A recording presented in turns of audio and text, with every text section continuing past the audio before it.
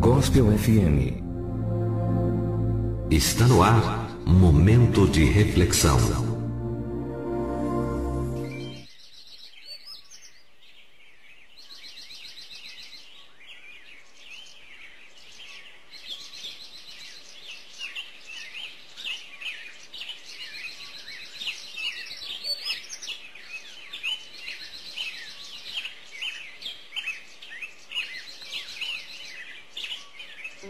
O agir de Deus.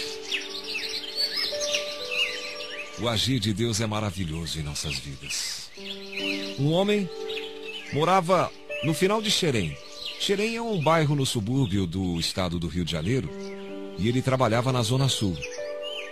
Todo dia ele viajava de trem para ir e vir do trabalho.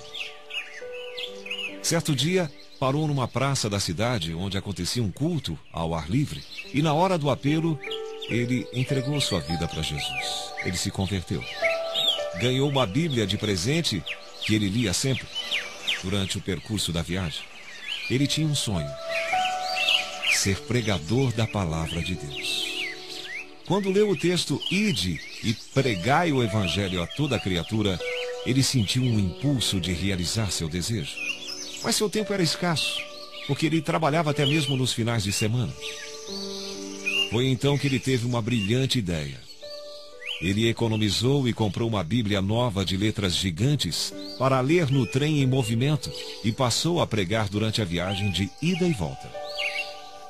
Ele estava feliz da vida, pois estava dando frutos para o reino de Deus. Mas um dia surgiu um passageiro que não aprovou a ideia da pregação dentro do trem. Esse homem cochilava ao balanço do trem durante a viagem. Inconformado, o homem reclamava o tempo todo. O pregador pacientemente trocava de vagão. Porém, quando começava a pregar, lá estava aquele sujeito, mais uma vez reclamando. Então esse homem, extremamente irado, levantou sua voz e gritou: Para de me perturbar! Da próxima vez que você pregar dentro do trem e atrapalhar o meu cochilo, eu vou jogar sua Bíblia fora. Escreva o que eu estou te falando, é melhor você ficar quieto. Prudentemente, o pregador clamou a Deus e jejuou para que Deus não permitisse que aquele homem cumprisse sua ameaça, que houvesse impedimentos. Assim o pregador orou com fé, confiando que Deus o estava ouvindo. No outro dia, aquele homem que se sentia importunado saiu bem cedo para o trabalho. E lá estava o pregador do trem, todo confiante, semeando a palavra de Deus. Subitamente, o valente levantou-se e bradou: Bom, eu te avisei. Você não quis me escutar. Arrancou a Bíblia das mãos do pregador e jogou-a pela janela do trem diante de um público estupefato. O pregador sentiu-se humilhado, decepcionado, muito triste com aquela situação.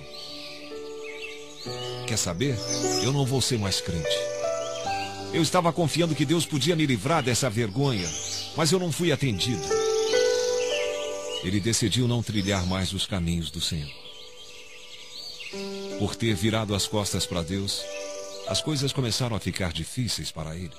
Perdeu o emprego, tornou-se um desocupado, abandonou sua casa e passou a viver nas ruas, dormindo nos bancos de praças. Depois de um certo tempo, numa determinada praça onde costumava se embriagar e dormir no banco, estava acontecendo um culto ao ar livre. Despertou sua atenção, pois esse pregador contava o seu testemunho de que, um dia, junto da linha do trem, estava para cometer suicídio. Mas Deus, com seu infinito amor, usou um filho seu para salvá-lo de ser despedaçado pelo trem. Continuou cont contando que, quando ia se atirar embaixo do trem, algo muito pesado foi arremessado na sua cabeça e ele caiu junto aos trilhos, meio desacordado, sem entender nada do que estava acontecendo. Foi quando percebeu que era um grande livro e um vento providencial virava suas páginas, parando exatamente na página onde pôde ler admirado o versículo 18 do capítulo 28 do Evangelho de Mateus. Vinde a mim todos os que estáis cansados e oprimidos, e eu vos aliviarei. E então ele exclamou jubiloso: Foi então que eu fiquei com essa Bíblia. Hoje sou feliz e a minha vida mudou. Um dia hei de encontrar esse filho de Deus, dar-lhe um grande abraço e agradecer-lhe pelo bem que me fez, livrando-me não somente da morte física, mas principalmente da condenação eterna. Pregador do trem que ouvia tudo atentamente não conseguiu conter o seu desesperado choro e inesperadamente levantou-se do banco e gritou com o rosto banhado em lágrimas: Perdoe-me, Senhor Jesus, porque eu não compreendi os teus planos. Perdoe-me por ter duvidado do teu poder e do teu amor por mim todos esses anos. E soluçando, Dirigiu-se ao pastor que testemunhava, mal conseguindo declarar: Eu era o dono daquela grande Bíblia. Disse o seu nome e mostrou a todos a sua assinatura registrada na primeira página daquela grande Bíblia.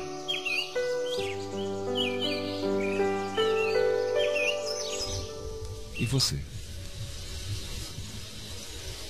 Sabe quais são os desígnios de Deus para você?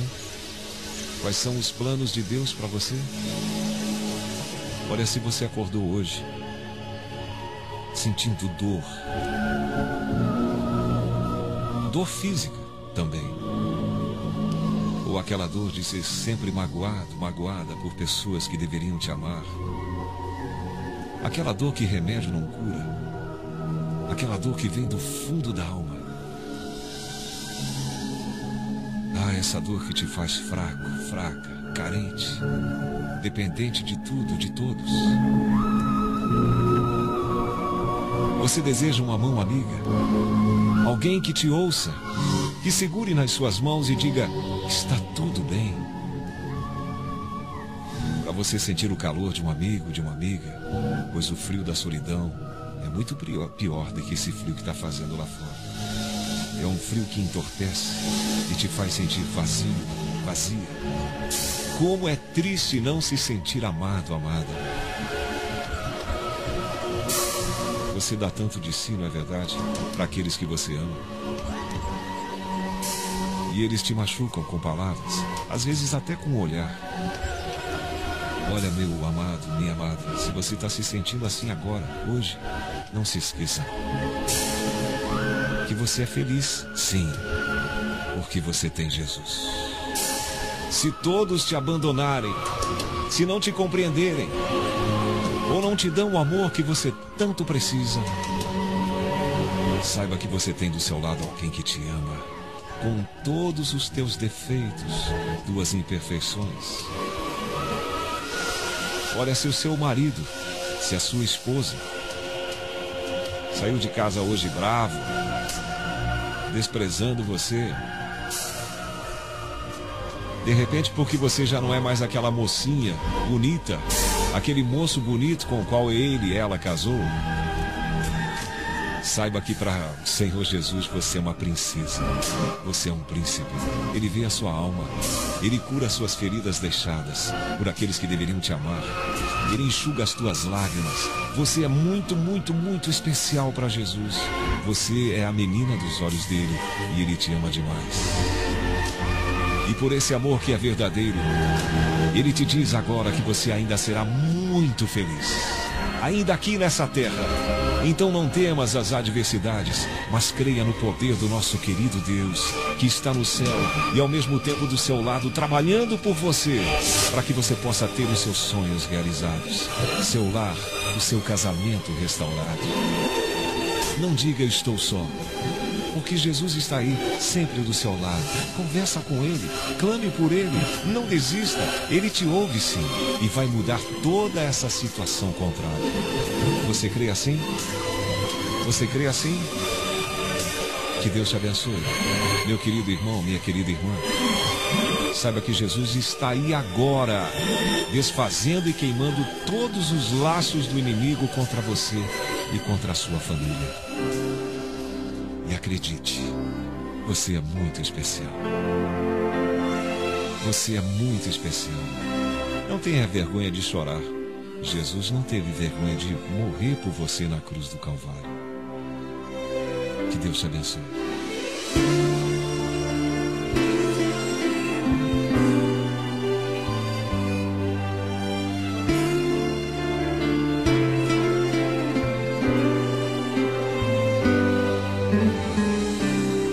O que se perde pelo ar é folha e pó. O que não serve pra usar vagueia só. E você não vive só. Você é vaso de valor.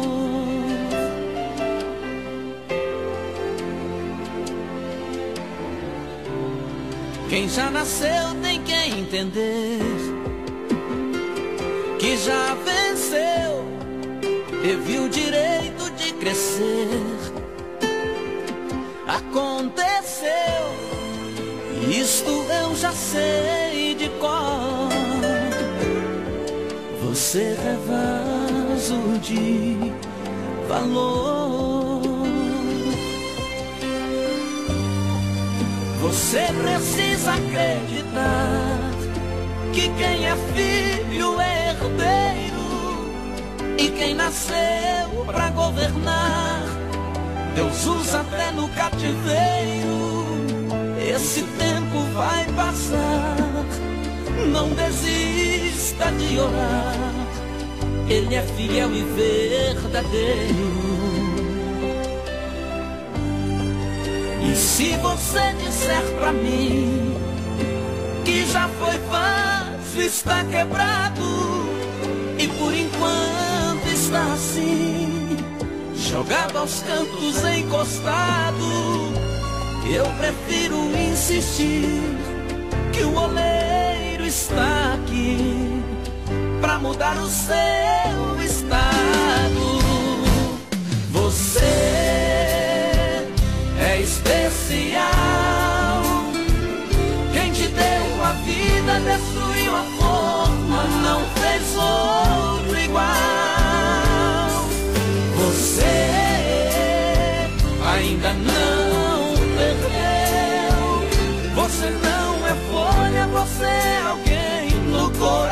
Você é muito especial. Daniel e Samuel.